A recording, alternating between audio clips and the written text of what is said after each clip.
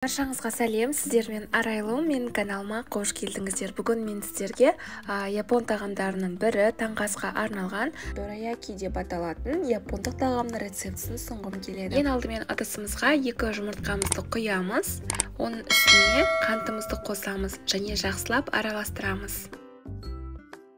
Және бір шай қасық балды қосамыз тағы да жақсылап араластырамыз.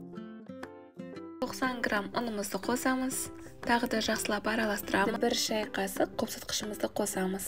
Барлығын жақсылап араластырамыз. Және су қосатын боламыз 10 миллиграмм.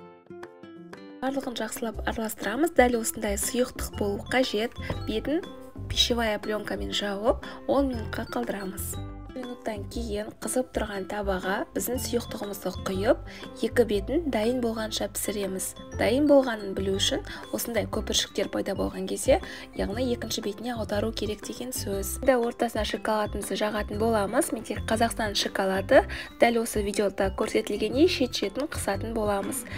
Міне достар бізде дайын болды рецепт бойынша жасалынған таңғы асқа арналған тағамымыз өте дәмді жұмсақ ә, сонымен қатар ә, өте жақсы үйлеседі таңғы ас. Дәл осы рецепт бойынша таңғы асқа жасасаңыздар болады тез жасалынады әрі оңай ең бастысы өте дәмді болып шығады.